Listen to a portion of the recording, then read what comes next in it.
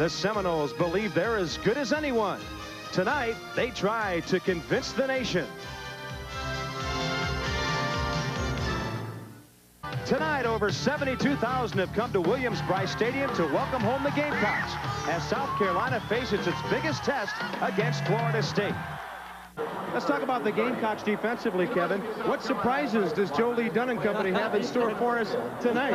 I don't know. If you're a defensive football player, you have to love playing for Joe Lee Dunn, the defensive coordinator of South Carolina. Pressure defense. They run around all night. They'll come after you. So what did they do last week against North Carolina State? They never play zone. They come out in the zone. And not only did they confuse North Carolina State and win the game, but Florida State sitting home watching the ball game, getting ready, saw a zone, and now they don't know what to do. They've had to change their game plan. And this is not the kind of defense you want to go after with anything less than your best people. Well, that's right, Bobby. It's because of the pressure. They make you make quick decisions. You need experience, especially at that quarterback position. He's got to be a guy who can recognize blitzes and make that quick decision, and they've got a problem there tonight. That's because Chip Ferguson is on the bench with a separated shoulder. So what about Peter Tom Willis? what, what about Peter Tom Willis? Peter Tom Willis is the question mark. He's only thrown 47 passes all year. He needs to have success early in this game. If he completes a few early, they get that offense rolling, and Florida State's going to be tough. If he has a problem, it could be a disaster. With Ferguson injured, they go with junior Peter Tom Willis at quarterback. They got six on first down. Willis with time. Long to the end zone. And a score to Terry Anthony. 44 yards, and the visiting team takes the lead two and a half minutes in.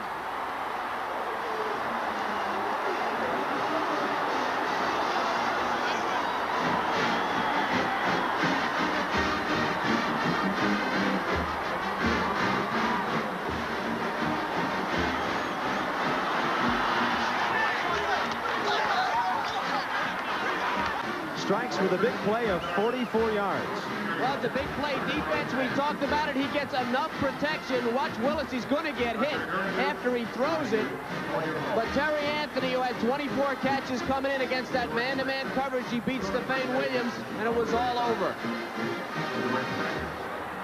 And we talked about how the early part of the game would be so important to the confidence of Peter Tom Willis.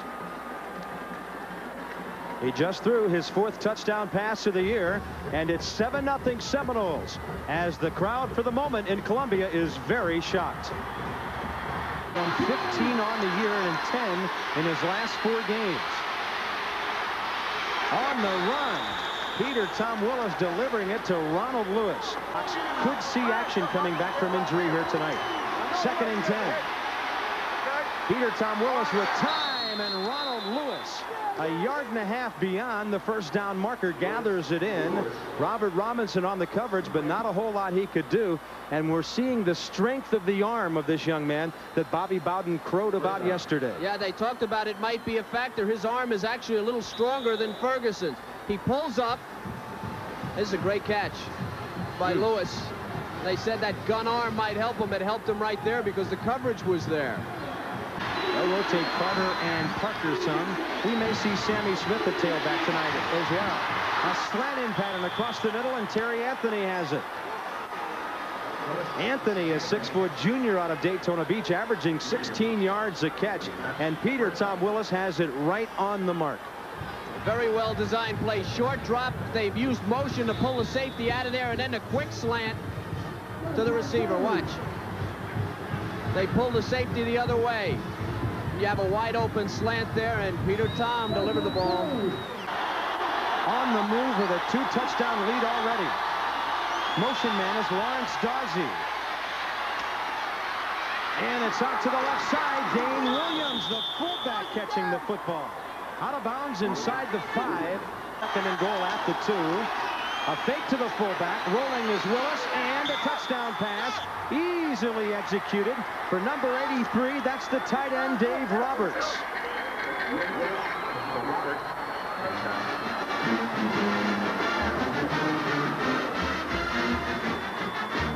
Well, this is what makes them so tough. I just told you, they like to run to the strength. So what do they do? They send everybody that way, play action. It's a naked reverse waggle, whatever you want to call it, and then a wide open receiver. Very tough play against a strong offensive line. Defensively, you've got to honor the run. Seconds into the second quarter, it's Peter Tom Willis completing a touchdown pass for the second time tonight.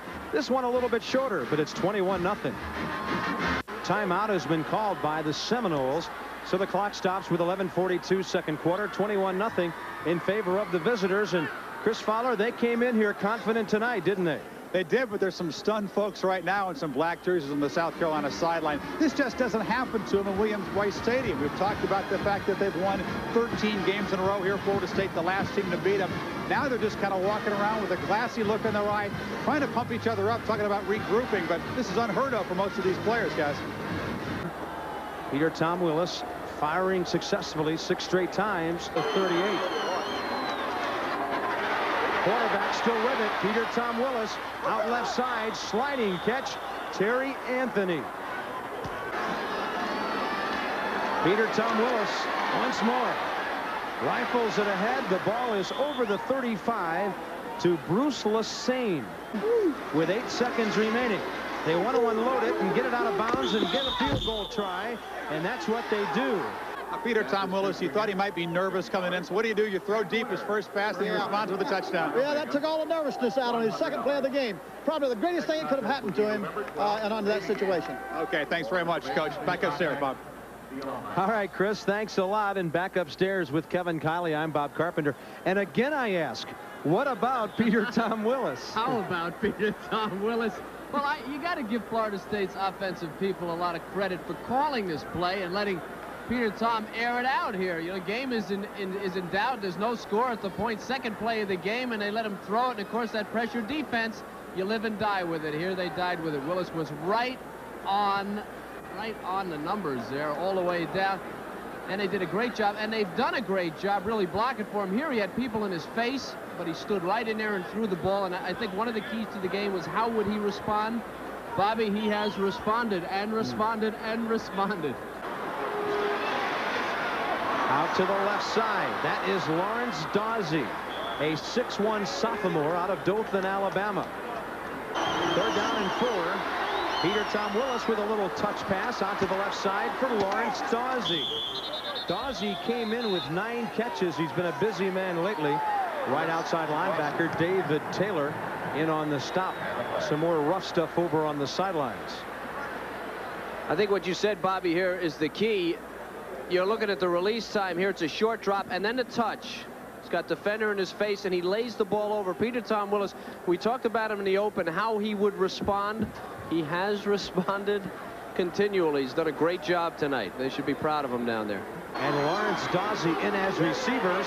They're looking across the middle and Dawsey is into the end zone. Lawrence Dawsey slanting in for a 13-yard touchdown reception, and it'll go to 37-0. And who the ever the coaches are who vote in the UPI poll, and a lot of coaches watch these Saturday night games, Kevin. They've got to be very impressed with FSU right now. Right, impressed, uh, impressed, and with a backup quarterback. Now, Peter Tom Willis thrown 47 passes coming into this game. There was major concern by the people at uh, Florida State of whether or not he could do the job, and he has done it. Richie Andrews now 42 for 42 5 for 5 tonight it's 38 nothing well they use motion outside and then Willis again with all that pressure a perfect pass to Dawson now Dawsey he's going to come in on a quick post and the ball delivered perfectly Nice timing pattern to the 6-1 sophomore. 38 nothing. the Seminoles. Yeah, they're on the road. Floyd is the fullback. Parker behind him. Unloading it. And even when they are under pressure, it turns into a beautiful play. Bruce LaSane with the diving catch. Well, this is excellent defense by the Gamecocks. They're going to get pressure on Peter Tom at the corner. That's Taylor. He throws it up for grabs, but it just happens to hit over Rabun's head and in front of the cornerback. Here's Taylor. This is the closest thing they've gotten to pressure, and this is a pressure defense all night. Everybody coming, and the ball just falls in and is caught by LaSane. An excellent, uh, excellent something. I guess it was excellent defense and a, and a good catch by LaSane. Yes, it was. First down, deep, deep drop, and they screen it right side for Reggie Johnson. And flags fly as Johnson tumbles over the 45. West Virginia had 170. To the left side, and that's Scott DeMaria, wide receiver. And he's out over the 40-yard line. DeMaria, six-foot junior out of Miami. Doesn't even show up on the depth chart, but when it's 38 nothing, lots of people start showing up. Well, you give this one again to Willis. He's going to get pressure.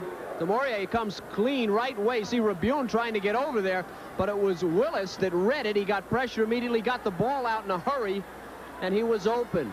Patrick Blackwell coming up to make the hit. Peter Tom Willis, look at that. 15 of 18. He's hitting five of every six. And there's Bruce LaSane, who on the crisscross a moment ago cut inside. He makes the catch this time. I don't know. What do you do against that?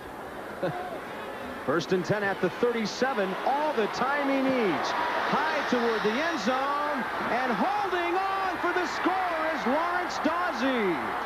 A flag lays at the three-yard line, probably on the defense anyway, and Dawsey puts it away. 37 yards on the touchdown throw.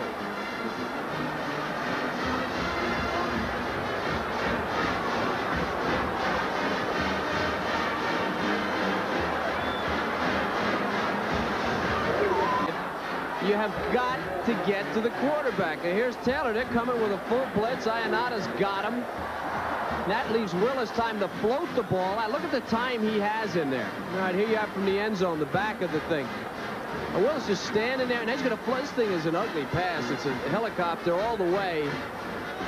And that catch, that's just an incredible catch. Pass interference, touchdown. 45-0. Seminoles are rolling. Some of the Gamecocks don't even have their shoulder pads on anymore. Peter Tom Willis getting a little uh, oh congratulations and encouragement from the coaches upstairs. They're saying now here's how we're going to score next time. A lot of yards passing for Florida State.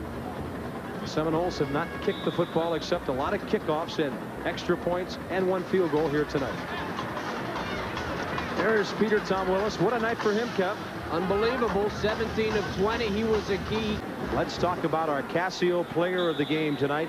Is there any doubt that it's Peter Tom Willis? Look at those numbers. 17 of 20, and we were we were discussing what the possibility was of him playing well tonight. That's 85%, partner. That's not bad.